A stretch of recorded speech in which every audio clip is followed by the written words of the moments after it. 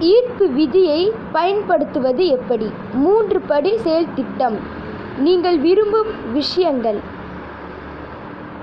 கேளுங்கள்.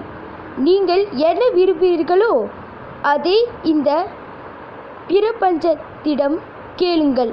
இந்த என்ன அலைவரிசர்கள் வரிசைகள் அவற்றை கவர்கின்றன. ஒத்தவை ஒத்தவைகளை ஈர்க்கும் நம்புங்கள்.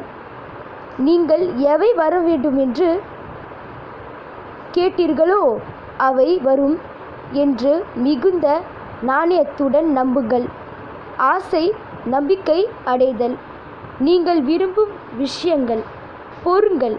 நன்றி கூறுங்கள். நன்றி உணர்வுடன் இருங்கள். வெறும் ஏற்கனவே இருப்பதற்கு மட்டும் இல்லாமல் இனிமேல் பெரு பெறுவதற்கும் நன்றி கூறு கூறுங்கள். நன்றி.